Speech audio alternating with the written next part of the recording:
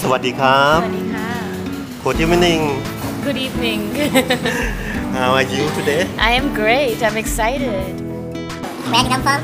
I'm from Thailand I'm born and brought up in Thailand อ๋อ yeah yeah งั้นเรามาพูดไทยกันดีกว่า uh, Can I respond back in English Oh, okay. Thank you What do you think about uh, the history of crab open restaurant in Summit, Thailand?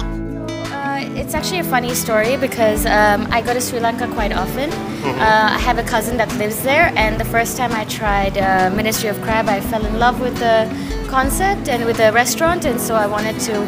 I knew that I need to open this in Bangkok. How, how can you say about uh, Thai people welcome to Ministry of Crab? So I think Thai people they love seafood. Uh, they love Yeah. crabs, and uh, the, the the thing about crabs is that uh, it's always in Thai rest- in Thai seafood restaurants. Usually the size is 300 grams, 400 grams. So what we're providing is 500 grams up till two kilos.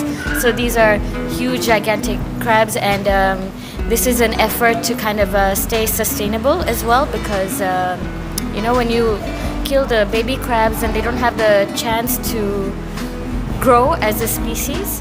So this is something very different and very unique to Bangkok. So I think that they would love it. Exciting for me. Too. Yes. Thank you very much. Thank you so much. Thank you.